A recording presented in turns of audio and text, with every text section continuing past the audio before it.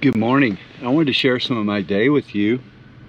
While some insurance companies have gimmicky spokespersons like a like a, a lizard or perhaps a, a cartoon general, and we don't have that at Farmers. Now, at FAMI, we have a real spokesperson that can relate to you. So as we near harvest time, I make it a point to get out and see some of our customers and make sure everything's well.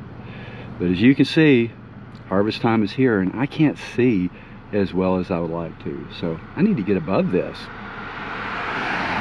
So I've hired my pilot today and he's taking me out on a on a run so that we can inspect our customers. There's the airport we're to fly from today. Well, it looks like they came through here and got the crops up here, so there's no risk of damage from storms or all this stuff has gone into the silos. Yeah, so I'm pretty sure that the that the lizard and the cartoon general don't have their own airport airplane to go flying in.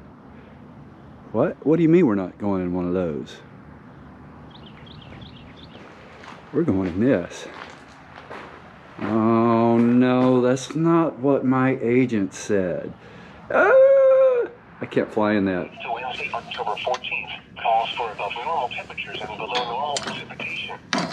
Normal high temperatures. No, trust me, trust me. I know what I'm doing. We, we can do this. From the low 60s over the Allegheny Mountains to the mid 60s. It's just gasoline. Yeah, I love these early, early morning starts. We get to get out here with the sunrise and the airplanes and all this fun stuff. So, you know, we'll let the lizards stay in bed while we get out here and do some farmer's work. All right, Joe, you said this was safe. This does not feel so safe. That thing's spinning really close to me.